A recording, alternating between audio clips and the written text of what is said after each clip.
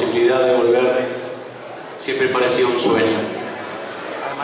Y cuando se trabaja, cuando hay buena voluntad de todas las partes, por eso quiero agradecer al Club Juventus que ha colaborado con la salida de Carlos, con su representante, con Alon Rocco, que ha viajado varias veces y la última conmigo a Torino para poder concretar la salida y llegar a un acuerdo con el Club Juventus. A Carlos, porque tomó la decisión de volver a su casa teniendo muchas ofertas y en su plenitud en su carrera. Este jugador, que como todos saben nació un 5 de febrero de 1984 y que llegó al club a los 13 años en prenovena de la mano del tan querido y maestro Ramón Madoni, como muchos chicos, que debutó un 21 de octubre y que ha conquistado cuatro títulos en nuestro querido club. Sumado a esos 17 títulos en los distintos clubes, en cada club donde estuvo fue ídolo, se ganó la gente por sus goles, por su cariño, pero sobre todo por la entrega. Y por eso la gente lo bautizó. Y para mí es un gran honor presentar al jugador del pueblo.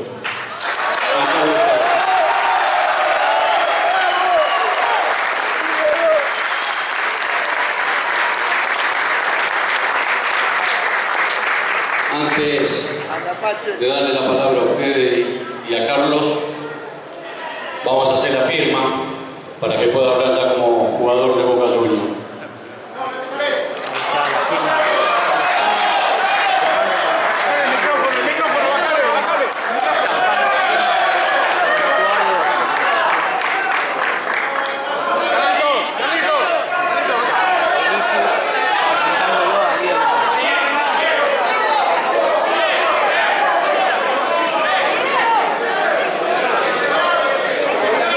Fuerte el aplauso, acaba de incorporarse oficialmente Carlos Pérez Sabora.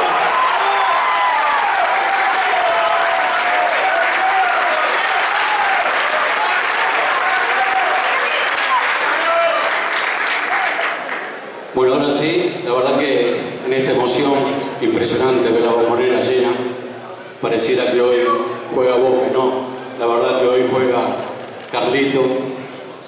No hay palabras mías de agradecimiento porque sé del esfuerzo que hizo para poder volver a nuestro club. Así que no quiero ser muy extenso porque hay mucha gente afuera que lo está esperando. Le doy la palabra a La palabra para hacer preguntas. Carlitos, la primera pregunta es, ¿hace cuánto venías pergeniando este sueño? ¿Hace cuánto tenías en la cabeza, todo bien con Europa, pero yo me vuelvo a Boca? Primero, buenas, buenas noches. Agradecer a, a todos por, por venir a verme. Eh, yo creo que ya un año, creo que la nota que di cuando me iba de vuelta a Italia, ya se me pasaba por la cabeza el volver a Boca, ¿no? porque extrañaba todo. Y yo creo que ya hace un año. ¿Estuviste a punto de ir al Atlético de Madrid o nunca existió la posibilidad? su primera Sí, sí, estaba la posibilidad.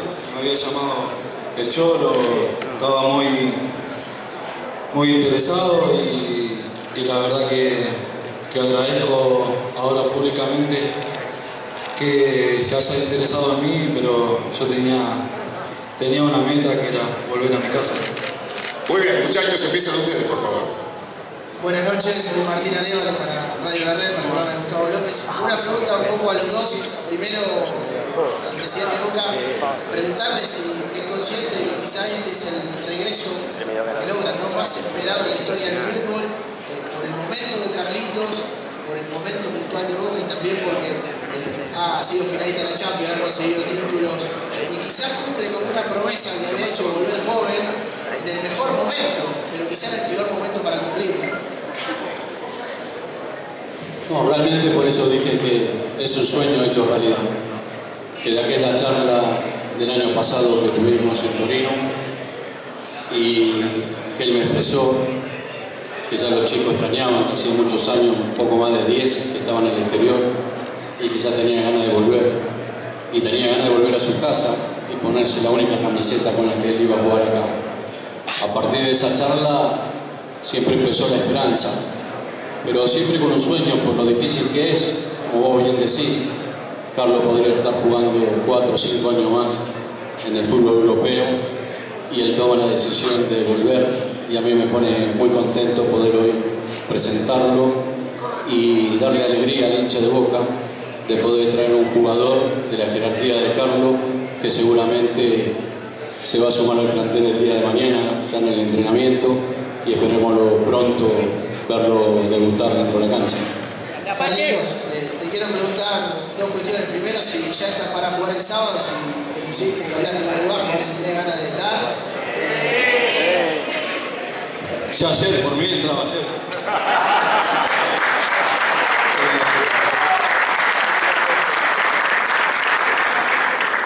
Es muy difícil.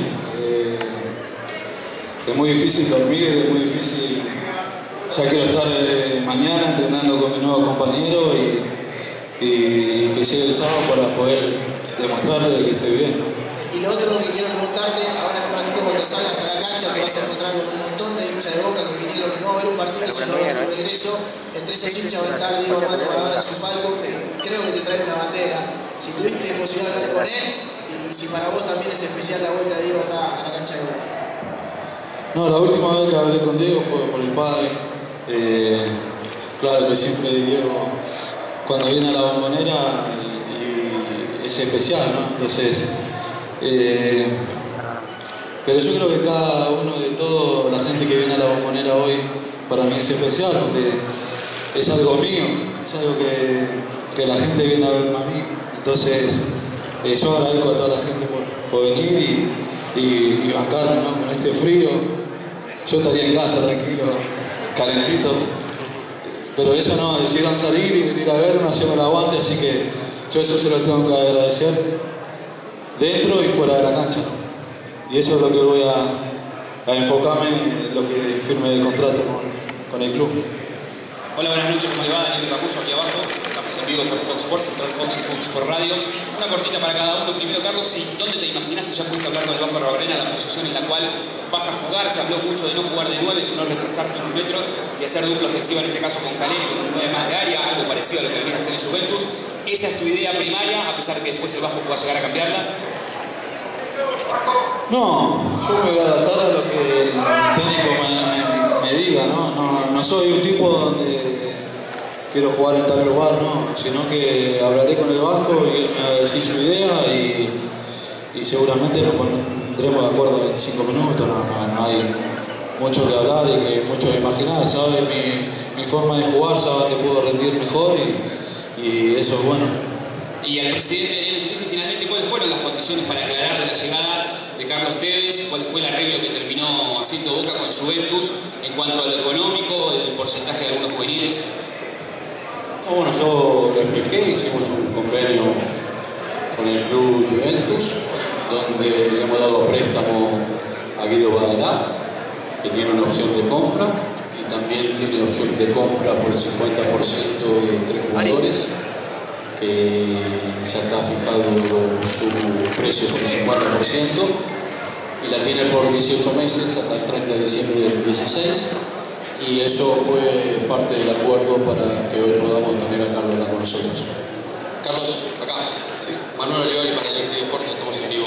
Eh, ¿Qué jugador de Boca y qué jugador vuelve? Han pasado muchos años. ¿Qué, qué le aportás y qué has sumado a tu juego y también a tu persona de- del jugador que se fue de Boca? Eh, se fue un jugador donde el mundo Boca lo ha, lo ha superado. Eh, es por eso que me fui, todos lo saben. Eh, hoy vuelvo sabiendo que tengo que, superar el mundo Boca. O yo creo que lo, ya lo superé, el mundo Boca. Porque hoy soy ejemplo de mis compañeros, no, no hablo de la gente, de mis compañeros. Antes por ahí en el equipo lo tenía al Flaco Schiavi, que ellos me aconsejaban a mí. Hoy me toca la otra parte, ser consejero yo.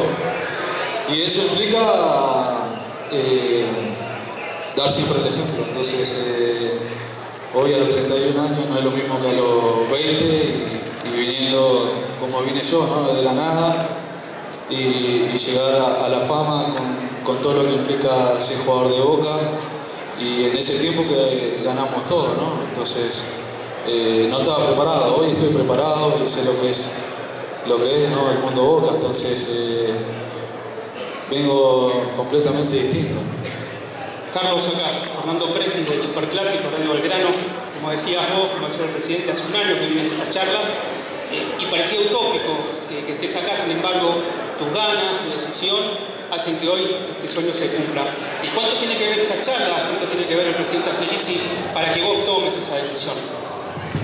Bueno, el Presi ha hecho mucho, ¿no? Eh, ha viajado, se ha puesto en contacto conmigo rápido y creo que en la primera charla ya, ya nos pusimos de acuerdo con todo. Así que, como él bien dijo, era difícil y, gracias a él, gracias a, a, Boca, hoy este sueño se hace realidad. Eh, y ahora hay que, hay que convencerlo para que, para que se quede con nosotros, ¿no? Porque fue el que me trajo y, y yo que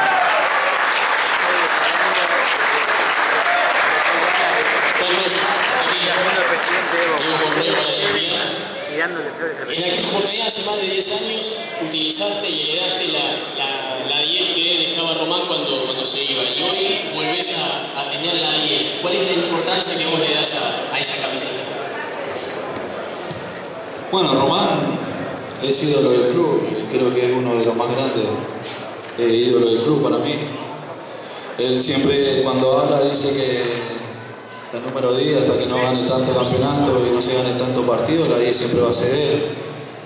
Soy amigo de Román y, creo que es así siempre. Yo no vengo a superarlo a él, yo vengo a hacer mi historia. Él ya la hizo y es el, el máximo ídolo del club.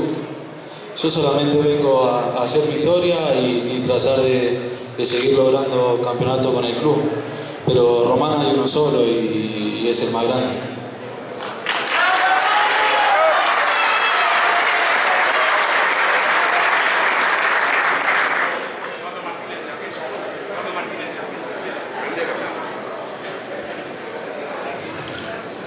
Hola, ¿qué tal Carlos? Eduardo Martínez de la agencia Telam, bienvenido de nuevo al Mundo Boca. Eh, más allá de este recibimiento que va a ser, es histórico, eh, ¿cómo, qué, fútbol argentino pensás que vas a encontrar? ¿Qué sabés de este fútbol argentino actual, de este campeonato? ¿Qué es lo que sabés? ¿Qué tipo de rivales vas a tener que enfrentar? Bueno, ayer eh, estuve viendo desde que me desperté hasta hasta las 9 por ahí, porque después se me cortó la luz. Así que me dieron la bienvenida a Argentina. Estuve todo el día sabiendo, no sabiendo qué hacer, mirando todos los partidos que no sea Boca. Cuando llega la hora de Boca se corta la luz. Pero bueno, eh, me parecía a propósito, te lo juro. Eh, pero yo creo que el fútbol argentino he visto 4 o 5 partidos ahora, el domingo como bien te dije, y es eh, un fútbol argentino que se lucha, que se, que se disputa cada pelota y, bueno, ayer no pude ver a Boca por eso. Se cortó la luz en casa. Carlos, Fabio Vallejo, aquí a tu izquierda. Fabio Vallejo para Radio Continental y para Boca es Boca de América 24.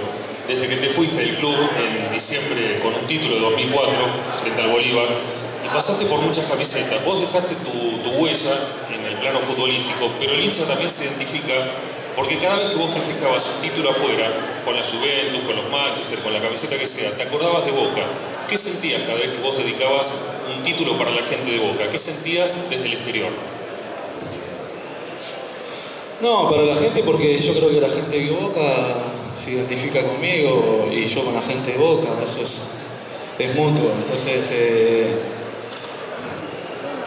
es que cada mañana o cada cosa que uno haga importante, eh, siempre eh, piensa en Boca, porque yo me levanto y me acostaba siempre pensando en qué día iba a volver, en qué día iba a volver uno a casa. Porque uno deja también, uno dice a casa, pero uno deja a la madre, el padre, los hermanos. Y, y después una vez que me fui, eh, uno se va solo al exterior. Y, y, es difícil, no es fácil. Y, cada domingo que, viene la familia de la cancha, y, eso no lo puedo disfrutar mucho, porque como te dije, el mundo Boca a mí me ha devorado cuando tenía 20 años. Hoy teniendo 31 es muy difícil eso. No digo que no ocurra, solamente que digo que es mucho más difícil eh, y estoy eh, mucho más preparada. Pero yo creo que la gente de Boca siempre me ha, siempre he pensado en todo momento en la gente de Boca. Carlos, buenas noches. Silvio Rich, el gráfico. Eh, llegás al equipo con mitad, en la mitad del campeonato, con el equipo puntero. ¿Vos crees que te tenés que adaptar vos al equipo o el equipo se va a tener que adaptar un poco al juego de Fernández? No, no, no. No, yo creo que, yo me tengo que adaptar a mi compañero, no a mi compañero a mí. Porque son compañeros nuevos,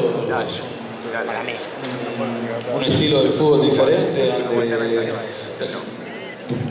Yo ayer vi más y, y las canchas son diferentes el juego mucho más lento, más aguerrido. Eh, pero yo creo que esta semana me, me, prepararé, me prepararé lo mejor para, para, para estar preparado el sábado. Carlos, acá. Diego Rusi de acá, eh, Te pregunto, ¿cuál es la ciudad o, cuál es el técnico o el momento que vos crees que te dio la espalda para hoy ser el ejemplo de tus compañeros? en, toda mi carrera? No, yo creo que en Italia los últimos dos años he aprendido mucho, ¿no? Y, y he crecido muchísimo como jugador, como, como referente de un plantel. Eh, yo creo que Italia, los dos años que estuve ahí, me, he crecido muchísimo. Sí. Carlos, buenas noches. Lautaro Salucho para ti. Te presentaron en un montón de clubes, distintos idiomas, distintas camisetas, pero quiero saber vas a contestar en inglés. Quiero saber si hoy es el día más feliz eh, de tu vida eh, en una presentación que hayas tenido como jugador de fútbol. Y sí, no hay, no hay mejor día como este, no, no, no, se compara con nada.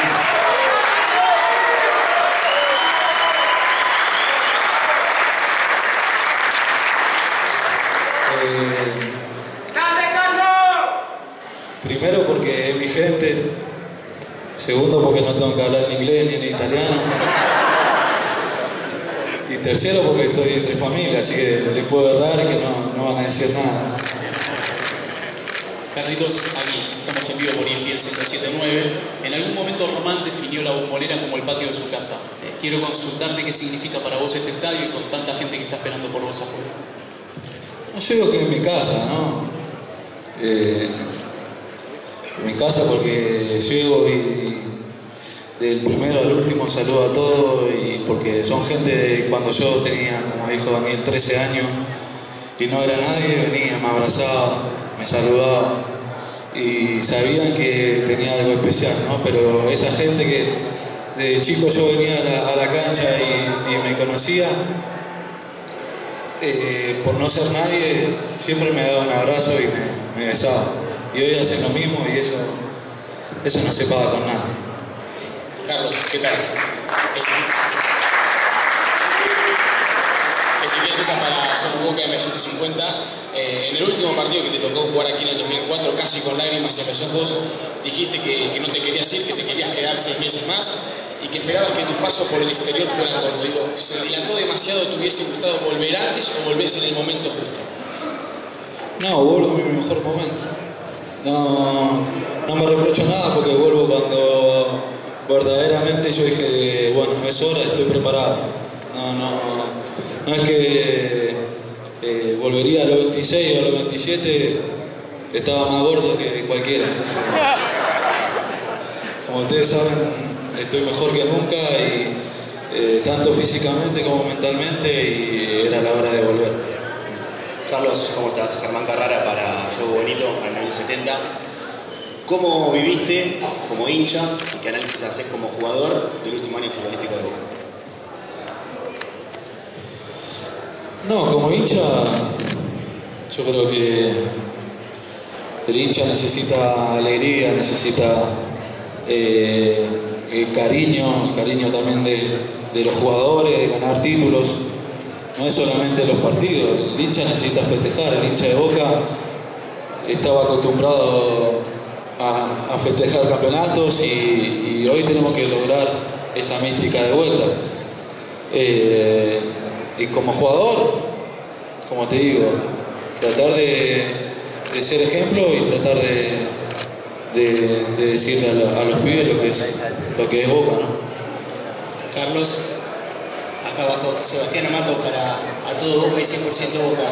¿Qué momento recordás de, aquellos tiempos donde bien dijiste vos ganaron todo? ¿Qué copa más recordás? ¿Y qué, te gustaría ahora? ¿Qué sueño tenés ahora puntual en este nuevo, en este nueva etapa?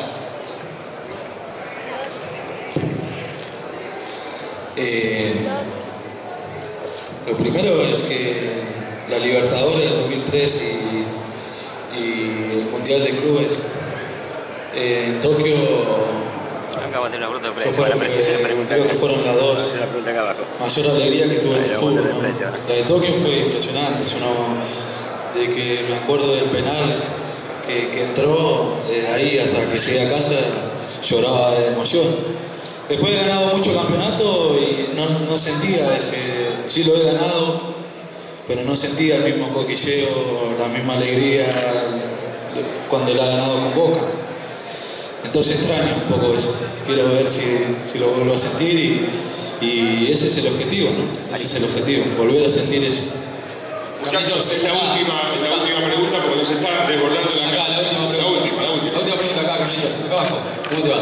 Gonzalito para el canal de secretario, tanto tiempo, ¿bien? ¿Me extrañaste? ¿Un poquito o mucho? No, un poquito. Tampoco tanto. pero. Es una relación que ya va a volver a ser lo que era antes. Sí, sí, me Quería- Que no, yo jamás, jamás. Quería preguntarte, a ver, tenés la camiseta, ya firmaste, estás en tu casa. ¿Puedes decir que la mesa está lista o falta algo? La mesa está lista. La mesa está lista y más el sábado. Ok, muchas gracias. Carlitos. Carlitos, Carlitos, antes de irte, te vamos a dar un consejo. Para que te compres un grupo electrógeno y los hinchas de Boca te vamos a hacer dos pedidos Hay que ganarle a River y hay que salir campeón. ¿Puede ser? Y por eso vine. Ahí está, fuerte el aplauso para Carlitos